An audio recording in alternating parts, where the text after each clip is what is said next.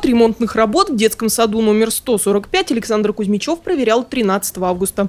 Дал наставление положить новый асфальт и кронировать деревья. Сегодня в саду праздник. Завершены отделочные работы и открываются две новые группы, рассчитанные на 40 дошколят.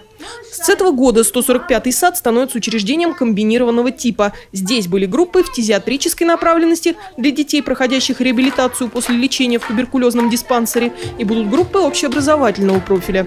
Детишек примут в новых стильно отремонтированных просторных помещениях. Приглашенные на открытие групп депутаты отметили, садик без своего внимания и денежных вложений в будущем они не оставят.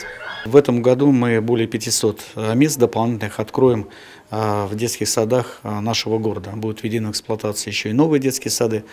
Сегодня мы обращаем внимание на то, чтобы детям в дошкольных учреждениях было комфортно, действительно окружала красивая атмосфера. И сегодня видите, что многие группы, они сделаны с большим вкусом, что называется, таким творческим дизайнерским подходом.